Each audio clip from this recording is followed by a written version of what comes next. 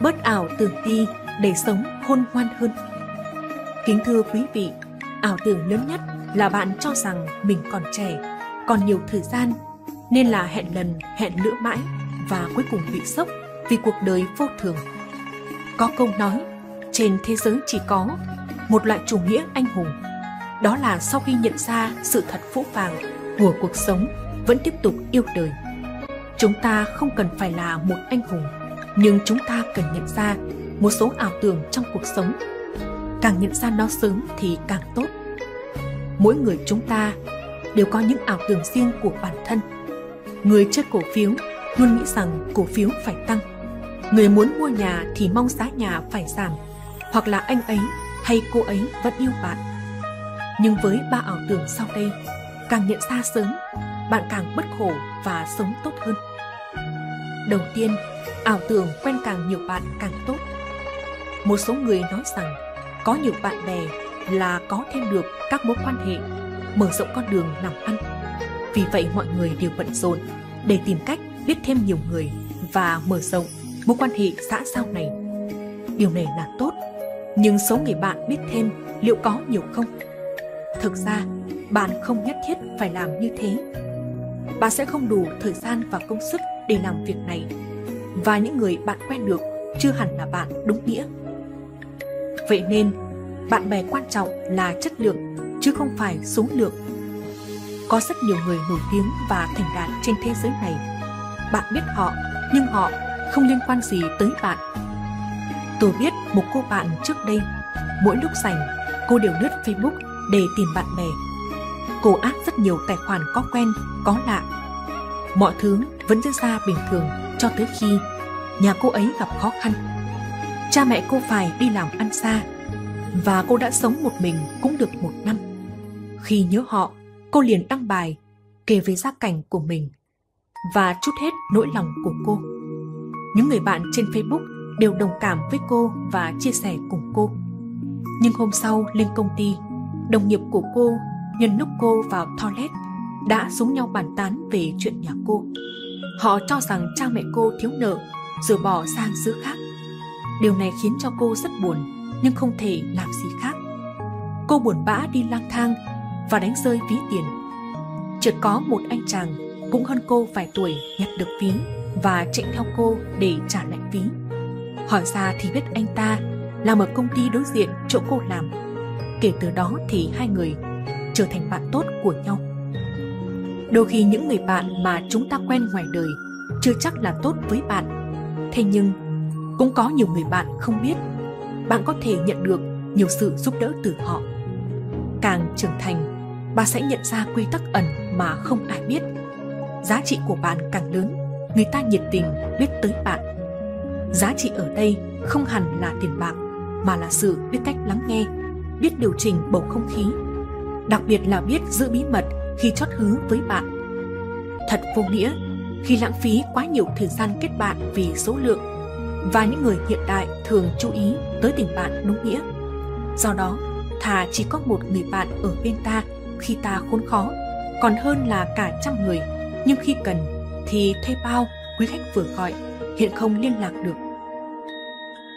Thứ hai, không thể liên lạc được thực sự vì bận rộn. Chúng ta rất thoải mái trong việc an ủi bản thân. Tôi không thể gọi cho một ai đó trong vòng vài phút. Tôi đành tự nhủ rằng chắc người đó đang họp nên có thể người đó không nghe được điện thoại. Gọi không được, tôi liền nhắn với người đó thì không thấy trả lời lại.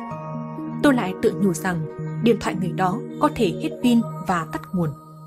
Và sau một ngày, không có tin nhắn hay là cuộc gọi nào của người đó cả. Trên thực tế, dù bận rộn tới đâu, tôi cũng có thể trả lại tin nhắn trong vài giờ. Tôi chỉ muốn có thể quan tâm tới bạn. Thời đại học, Tôi có một người bạn.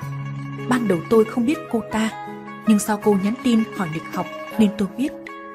Tôi nhắn tin lịch học cho cô ấy Nhưng chắc cô ta không rõ Nên là gọi điện thoại để hỏi lại. Khi ấy tôi đi làm thêm rất bận Nhưng vẫn ngồi để trả lời những thắc mắc của cô ấy. Mọi chuyện tưởng xong xuôi. Sáng hôm sau Cô lại gọi hỏi các vấn đề về thời khóa biểu Tôi cảm thấy hơi phiền Nhưng vẫn gượng gạo trả lời cô sau vài tuần, Tưởng cô đã quen lịch học, cô lại gọi. Tức giận nên tôi hỏi lại cô ấy rằng sau vài tuần mà vẫn chưa quen hay sao? Cô ấy bảo tôi rằng cô không nhớ những gì tôi nói nên hỏi. Những lần kế tiếp tôi không nghe máy. Vài ngày sau đó, cô ấy đã buộc tội một người bạn, không phải tôi. Người đã không xét tin nhắn của cô ấy trong nhiều giờ và gửi hẳn vào nhóm của cô và hỏi cô bạn kia có bận thực sự không. Cô còn bảo cô bạn kia không tôn trọng mình. Nghiêm túc mà nói, tôi đã cười thầm trong bụng khi thấy hành vi này. Nhiều lần, những người khác không trả lời lại tin nhắn của bạn có rất nhiều nguyên do.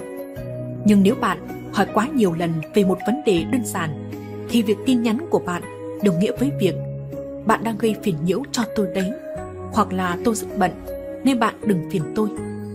Thực ra người khác có thể nói những câu như vậy, nhưng họ muốn để lại một chút thể diện cho bạn.